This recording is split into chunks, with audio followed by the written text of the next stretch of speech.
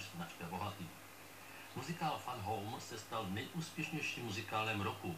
Kromě sošky za nejlepší muzikál získal cenu také za libretto, hudbu, texty písní i režii. her at first, but I saw her the moment she walked in. She was a delivery woman. She came in with a handcart full of packages. She was an old school butch. Someone just came in.